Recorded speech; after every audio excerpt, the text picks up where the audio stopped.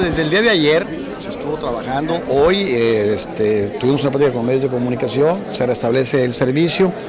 Eh, ya hemos puesto las, eh, ya conocemos las visiones de ellos que ellos denunciaron.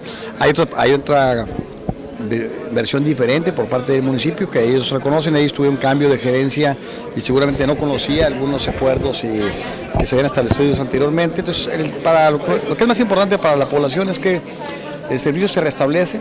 Vamos a revisar algunas de las cosas. Hay una deuda de la administración anterior que lamentablemente no fue registrada dentro del acto de recepción, o sea, hay una imposibilidad legal por parte del municipio. Ellos ya conocían esa, esa parte legal que estábamos imposibilitados y lo que corresponde a nuestra administración se va a normalizar, sí se va a revisar porque hay algunos cobros que bajo la evaluación de la Contraloría Municipal están eh, sobreestimando algunos cobros y se ha pagado incluso eh, por días de servicios que no eh, se han aplicado, sobre todo los cobros, ahí aparecen los todo el mundo sabemos que no hay recolección de basura en el municipio de Reynosa y que las facturas que sí, digamos, podemos contar como que se deben, que son alrededor de 19 millones de pesos, hay un sobre, sobregiro o sobrefacturación de, se ha hasta ahorita estimado, se está revisando, de más de 2.5 millones de pesos. Entonces vamos a, a revisar, vamos a normalizar, hay buena disposición de ambas partes para hacerlo.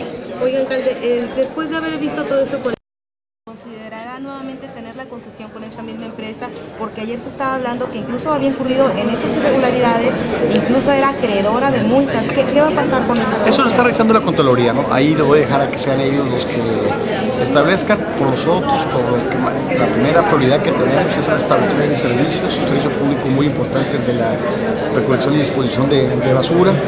Ah, hubo este mal entendido, fue mal manejado por la empresa, no obedece a la realidad que desplegado ahí se sacó, pero está en la buena actitud de hacer los ajustes que son los que el municipio va, va a revisar y que con toda transparencia, con toda claridad, podamos definir muy bien los montos y restablecer los pagos para que ellos también puedan operar. Pero bueno, ya el servicio se ha restablecido a partir del día de hoy. El gerente mencionaba en días anteriores que una situación parecida había sucedido en Cuernavaca y habían ellos tenido que estar dos meses sin el servicio.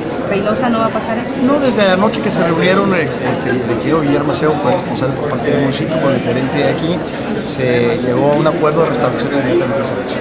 Gracias. Gracias. Gracias.